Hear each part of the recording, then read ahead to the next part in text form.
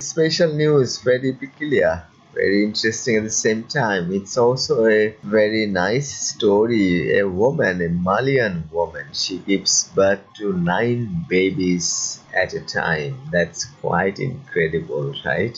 And she's very young, she's just 25 years old. She has given birth to nine babies, to more than doctors had detected during scans. In during his scans, it was found seven babies and was surprising. Still, when the births took place, it was not seven, even two more, nine. Halima Cisse gave birth to the plates in Morocco. Mali's government flew her there for specialist care.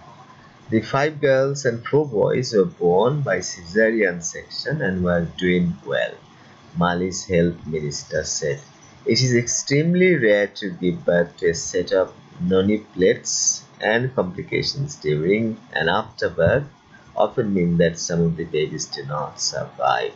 Morocco's health ministry spokesman Rachid Koudhari said he had no knowledge of a set of nonuplets ever being born in one of the country's hospitals before the AP news agency So, hello guys, do you have the same idea? Morocco's health ministry found um, never so many children like nine. So, have you ever heard of a woman that gave birth to nine children or like that? I haven't heard it.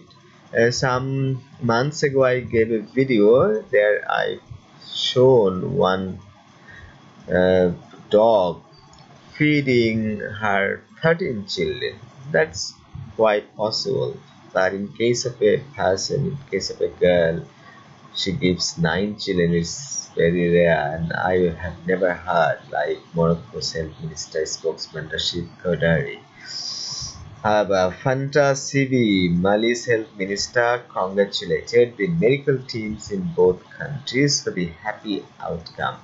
Mrs.'s pregnancy became a subject of fascination in Mali even when it was thought she was only carrying septuplets. The Reuters news agency reports doctors in the West African nation have been concerned for her welfare and the chances of the baby's survival. So the government intervened.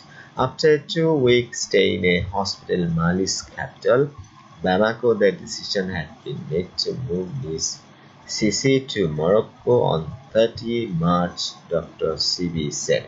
After five weeks at the Moroccan clinic, she had given birth on Tuesday, the minister said. The mother and her new brood are expected to return home in several weeks. This news from BBC. Please subscribe to my channel. Thanks for watching.